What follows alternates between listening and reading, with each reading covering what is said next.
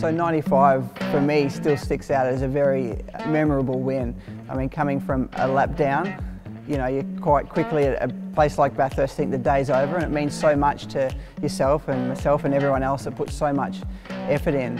As the day went on, at what point did you think, hey, we could be back in it? Well, when I uh, when I saw up on the leaderboard that we got up to second, it was around about lap 140, and I was about 12 seconds behind Glenn Seton, who had never won at Bathurst, and I was trying as hard as I could, and I weren't making any impression. Over about five laps, it was maintaining the gap of 10 or 12 seconds, and then he suddenly slowed, and I thought, man, like his disappointment was my joy, I can promise you, and. Uh, I, I had to been running, I was running the car and the engine myself at a 10 out of 10 all day long. Every gear change was 7.5, yeah, not 7.4, everything was spot on.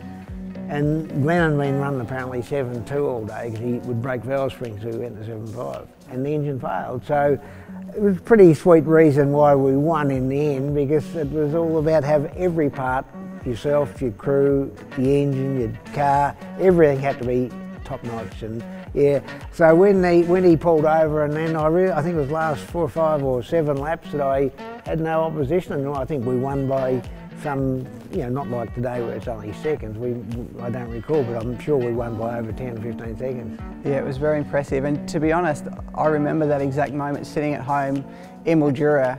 Um, you wouldn't have, I'm sure you would have seen the replays, but you wouldn't have seen it at the time. The disappointment in Glenn's face as the engine failed and they pulled the car up the top, I think, of the mountain between the two barriers and, and away you went. So it's, the mountain always throws that up, doesn't it? There's, there's great success stories like you had, and then on the other side, there's, there's everyone else that their dreams come crashing down. I keep saying to my co-drivers, and I'll say to your co-driver, you've got to finish before you can win. And it's the number one thing that uh, has to be reinforced, uh, always finish.